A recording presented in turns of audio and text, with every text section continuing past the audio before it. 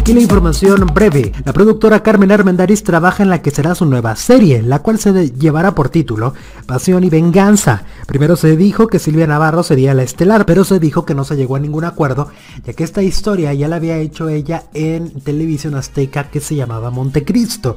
Así que se disputan el papel Bárbara Mori, Adriana Lubier, Ana de la Reguera o Itati Cantoral. Ellas pueden ser la protagonista de Pasión y Venganza y tendremos que esperar unos días para saber quién será la pareja protagónica de Iván Sánchez. Quien también está confirmado es el actor Flavio Medina, quien formará parte de esta historia. Así que ya veremos esta historia de amor y venganza, primero en Univisión al terminar el Hotel de los Secretos y posteriormente en México a través de Televisa. Hasta aquí la información, a ustedes quien les gusta. Bueno, dejen un comentario, suscríbanse al canal, compartan este video